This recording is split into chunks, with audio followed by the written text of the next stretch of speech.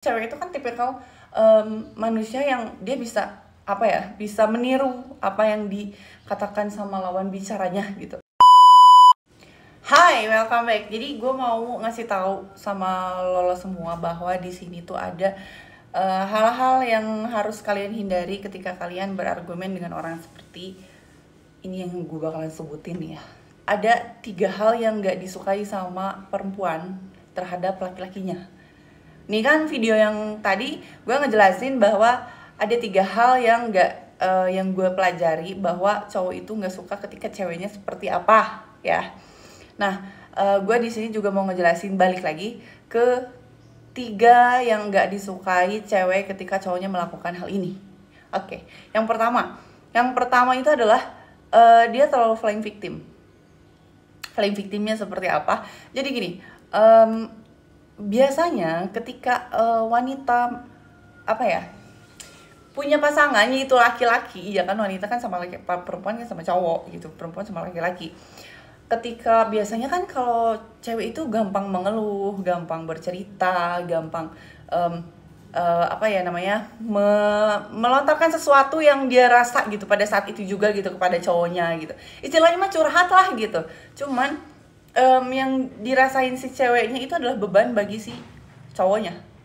Kayak oh kayaknya masalah ini gara-gara gue deh. Padahal si cewek tersebut adalah lagi melontarkan apa yang dia nggak suka apa yang dia unek-unekin dan secara baik-baik.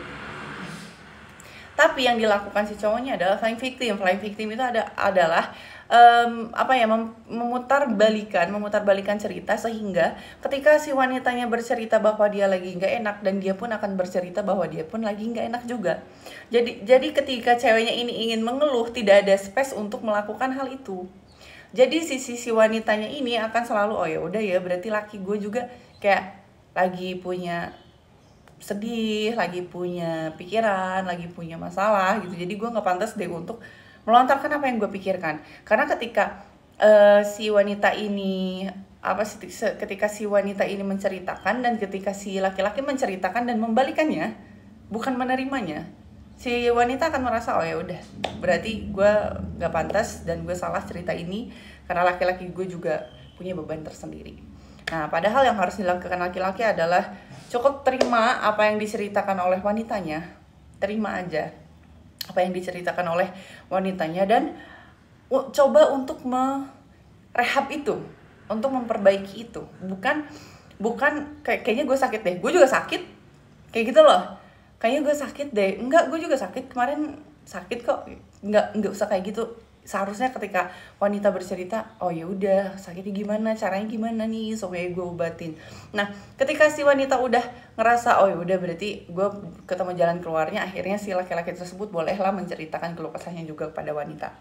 Yang kedua laki-laki uh, cewek itu nggak suka ketika laki-lakinya itu gaslighting. Gaslighting itu seperti um, um, gaslighting itu seperti ketika kita lagi bicara secara baik-baik. Kayak uh, si cewek sayang kamu begini-begini. Nah si cowoknya itu nadanya ngap nadanya itu kayak yaudah makanya kamu kayak gini dong gini gini gini jangan kayak gini. Dan ketika ceweknya juga langsung loh kalau ngotot sih? Kan lo juga begini begini terus akhirnya dar dar dar dar gitu loh. Nah makanya ketika uh, ketika si cewek ini nggak suka ketika si cowoknya gaslighting padahal dia yang duluan. Dia yang duluan berbicara uh, yang enggak enggak atau dia berbicara yang uh, yang kotor yang jorok yang menghina atau yang yang apa ya uh, yang ngebentak gitu. Ketika cewek balas juga karena cewek itu kan tipikal um, manusia yang dia bisa apa ya bisa meniru apa yang dikatakan sama lawan bicaranya gitu dia merasa si cowok ini merasa tersakiti loh kok cewek gue begini begini begini sih gitu loh. Kayak gitu padahal yang duluan itu adalah uh, si laki-laki ini gitu. Yang ketiga yang ketiga itu adalah uh, si cewek ini gak suka ketika laki-lakinya itu kita loh overthinking. Kayak contoh overthinking itu kan uh, hal yang nggak pasti terjadi apa hal yang kita pikirin tapi kita pikirin dan itu memacu ke apa ya memacu ke dalam pikiran kita bahwa itu tuh jelek itu jelek itu jelek. Akhirnya terjadilah kecemburuan overthinking lah berantem lah dan lain sebagainya. Padahal hal itu tidak terjadi di dunia nyata gitu. Nah terlalu lebay atau bukan terlalu lebay ya kita bilangnya uh, terlalu overthinking yang berlebihan. Boleh tapi sebenarnya kita sampaikan. Ketika kita berprasangka, berprasangka kepada wanita bahwa kayaknya lu selingkuh deh. Kayak kayaknya lu ini deh. Tanyakan baik-baik sayang kayaknya aku kurang serak deh sama uh, temenmu yang ini deh. Kamu ada apa ya? Kalian ada apa ya? Dan lain sebagainya. Ketika si wanita menjelaskan oh sayang maaf aku nggak ada apa-apa. Kamu cemburu kah? Kamu gini kah? Ya udah kalau misalkan uh, kamu cemburu aku nggak akan ulangin lagi dan aku akan membatasi dalam hal itu.